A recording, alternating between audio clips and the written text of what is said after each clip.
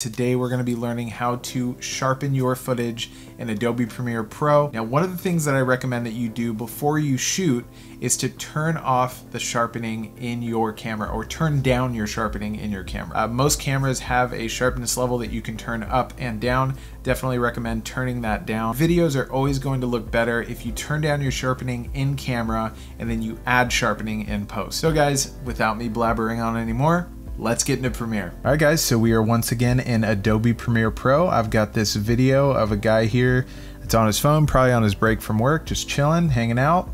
And uh, we're gonna sharpen this. So what you're gonna do is you're gonna go to the effects tab and you're gonna type in unsharp.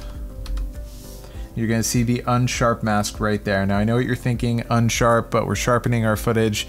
Uh, trust me, this works. So what you're gonna do is you're gonna take the unsharp mask, you're gonna drag it over to the clip, you're going to see it pop up right in your effect controls. Now you can see we have three different things going on here. We've got amount, radius, and threshold. So the first thing we're going to focus on is the amount. So if I take the amount and I turn it all the way up, you can see it really sharpens our image. You can see even we've got some fringing going on, some grain and noise and all that stuff. It's not very pretty. That's where we're gonna go to the next two. So the second one that we're gonna work with is the radius. Now, if I turn the radius up, kind of like upping the clarity when we're working in Lightroom, right?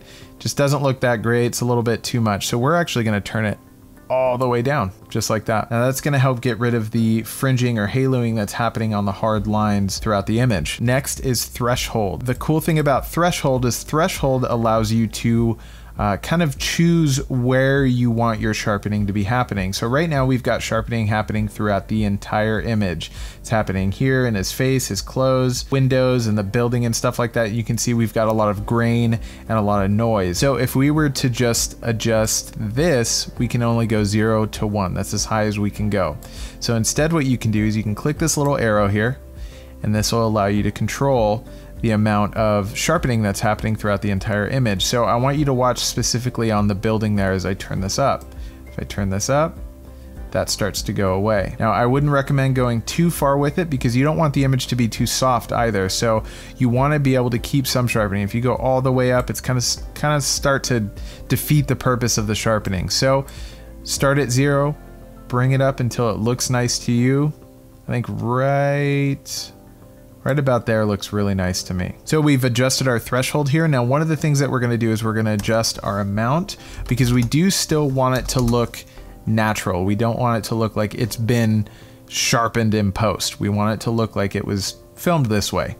Like he woke up like this. So We've got it at 300, we've got this at 0.1, and we've got our threshold probably about one third of the way between zero and one. So if we go to our comparison view and see the difference here, it's a lot sharper here. Everything looks good. We've gotten rid of that grain and that uh, noise that was kind of happening and it just looks really nice. So that was pretty much it. Uh, it's a super quick, simple thing that you can do to make your videos look a lot better, make your videos look sharper.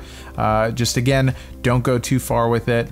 And uh, yeah, guys, let's get back to my face. All right, guys, so that was it. I hope you enjoyed this video. If you did, make sure you hit that like button below. And if you're not subscribed, make sure you hit that subscribe button and uh, you know turn on that little bell notification so you can be alerted when I upload new videos. I'm going to be uploading a lot more now that uh, I'm stuck at home all day. So, like I said, hit that subscribe button and I will see you guys in the next video.